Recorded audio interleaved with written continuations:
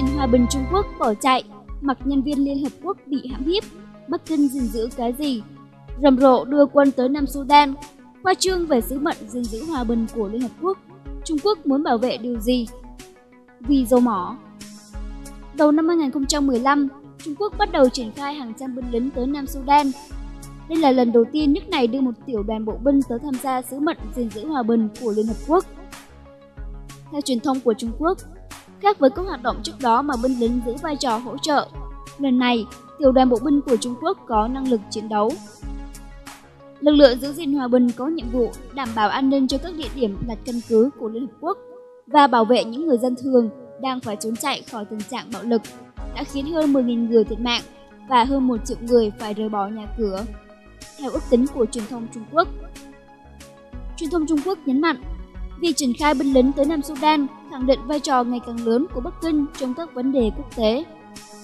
Ông Warner, giám đốc điều hành công ty quản lý rủi ro đặt tại Mỹ, cho rằng giống như các nước khác, Trung Quốc quan tâm tới việc bảo vệ lợi ích của mình cũng như thể hiện uy quyền.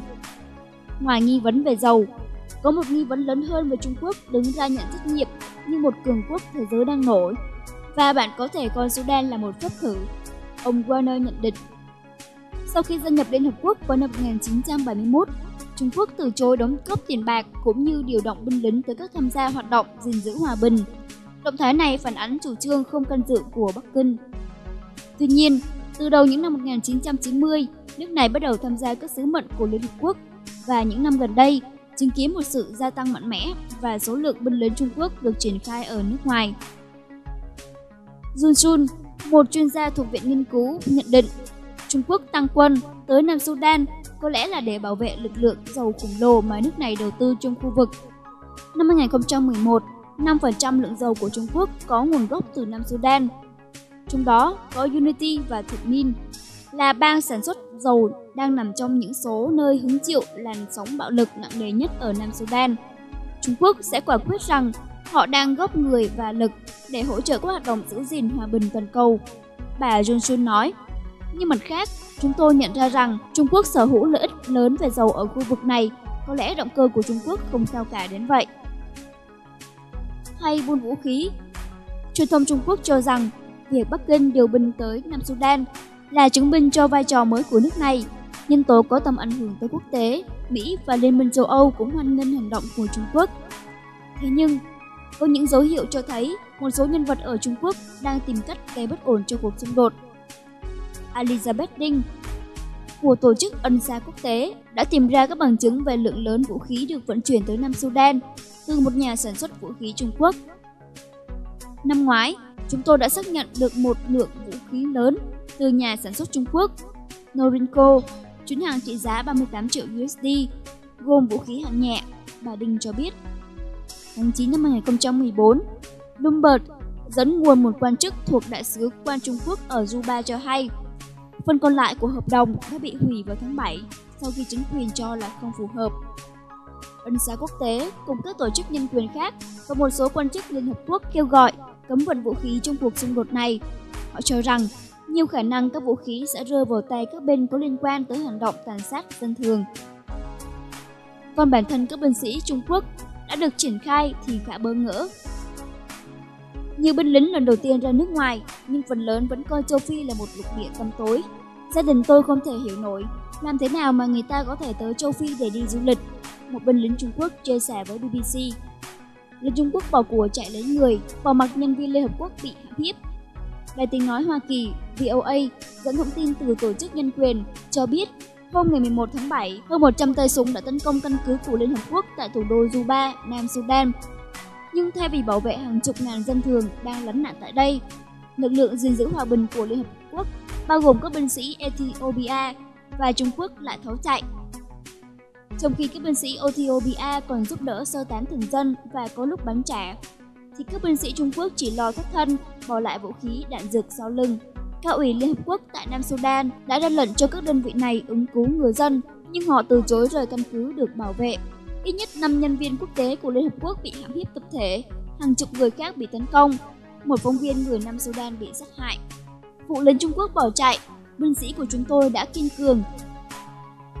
báo chí Trung Quốc không hề nhắc đến vụ binh sĩ nước này bỏ chạy thoát thân trong vụ tấn công, mà mô tả sự kiện theo một cách vẻ vang hơn nhiều. Đài tiếng nói Hoa Kỳ VOA dẫn thông tin từ Tổ chức Nhân quyền bảo vệ thường dân trong các cuộc xung đột có trụ sở tại Washington cho biết hôm ngày 11 tháng 7, hơn 100 tay súng đã tấn công vào căn cứ của Liên Hợp Quốc tại thủ đô Juba, Nam Sudan. Theo VOA, trong vụ xung đột này, các binh sĩ thuộc lực lượng giữ gìn hòa bình Liên Hợp Quốc của Trung Quốc đã tháo chạy, trong khi các binh sĩ Ethiopia còn giúp sơ tán thường dân và có lúc bắn trả, thì Liên Trung Quốc chỉ lo thoát thân, bỏ lại vũ khí đạn dược, thậm chí bỏ mặc 5 nhân viên của Liên Hợp Quốc bị hãm hiếp. Tuy nhiên, đó không phải là những gì được báo chí Trung Quốc đưa tin. Truyền thông nước này chủ yếu nhấn mạnh hai quân nhân của họ đã bị thiệt mạng trong khi làm nhiệm vụ và khẳng định các binh sĩ Trung Quốc đã kiên cường. Theo Beijing News, sau khi các xe bọc thép của Liên Hợp Quốc bị trúng đạn, quan chức chỉ huy phía Trung Quốc là Vương Ngọc An đã ra lệnh cho các binh sĩ nước này bắn trả và ép các phần tử vũ trang phải rút lui. Tờ này nói rằng quân nhân Trung Quốc đã tiến hành cấp cứu và dập lửa ở các xe bị tấn công và lập tuyến phòng thủ tại hiện trường. Lực lượng giữ gìn hòa bình Trung Quốc đã phong tỏa và kiểm soát tòa nhà Liên Hợp Quốc trại tị nạn và các vị trí trọng điểm, ngăn chặn các tay súng tiến vào khu vực Liên Hợp Quốc. Beijing News nói. Hãng thông tấn nhà nước Trung Quốc Tân Hoa Xã cho biết, trong cuộc xung đột ác liệt ngày 11 tháng 7, lực lượng Trung Quốc đã kiên cường cố thủ trận địa, tiếp tục chấp hành nhiệm vụ giữ gìn hòa bình. Trong khi đó, tờ Thời báo Hoàn Cầu ngày 12 tháng 7 đăng bài xã luận ca ngợi quân nhân Trung Quốc ở Nam Sudan với dòng tít Sự hy sinh của binh sĩ gìn giữ hòa bình Trung Quốc đủ khiến thế giới phải rúng động. Lính con một Quân đội Trung Quốc có thể bị lực lượng phòng vệ Nhật Bản đánh bại bởi hầu hết binh lính nước này là những tiểu hoàng đế hư hỏng. Không ai biết khả năng chiến đấu thực sự của quân đội Trung Quốc, nhưng thực tế là hơn 70% binh lính nước này là con một. Hiện thực này khiến Bắc Kinh đau đầu trong việc giúp đỡ họ đối diện với nỗi kinh hoàng của chiến tranh một khi nó xảy ra Thức thầm trong chăn.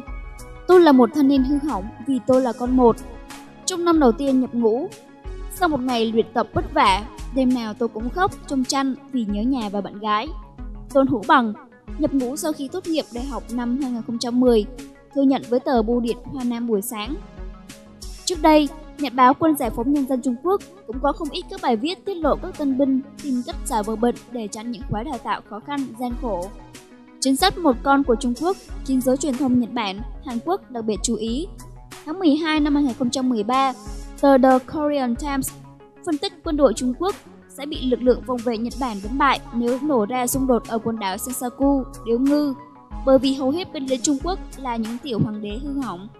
Giáo sư thuộc Đại học Quốc phòng Trung Quốc Lưu Minh Phúc nói với Tuần San Phương Nam rằng ít nhất 70% lính Trung Quốc là con một và con số này đã lên tới 80% ở các đơn vị chủ lực sẵn sàng chiến đấu.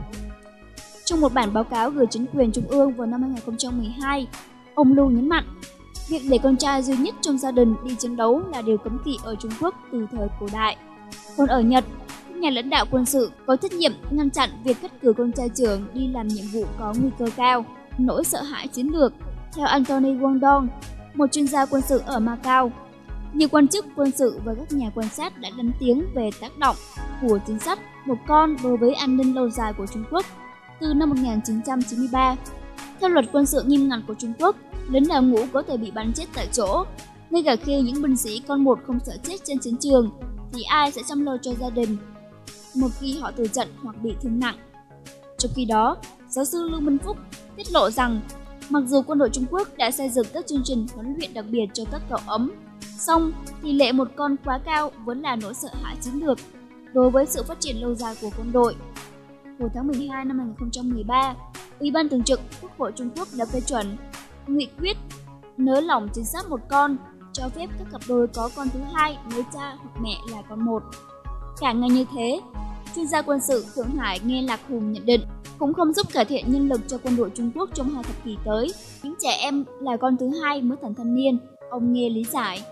Tuy nhiên, theo nhà phân tích Scott Hart, tham nhũng trong quân đội mới là mối lo chính của Trung Quốc, chứ không phải chuyện binh lính con một